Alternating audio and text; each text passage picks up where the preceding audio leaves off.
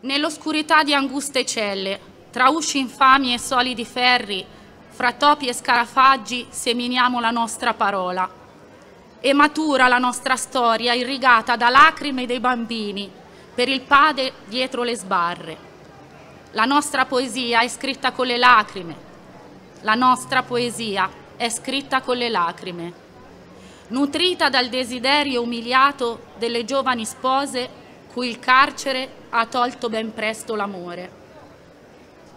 La fantasia tesse nuovi racconti, ricama con fili di lacrime, con colori di sangue, del sangue dei ragazzi e delle ragazze che scorre eroico sui nostri monti, su queste montagne curde.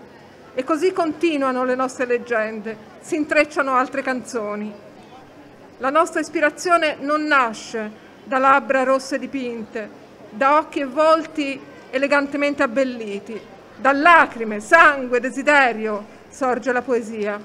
Rinnova il nostro amore e sospinta da un soffio leggero vola oltre le sbarre.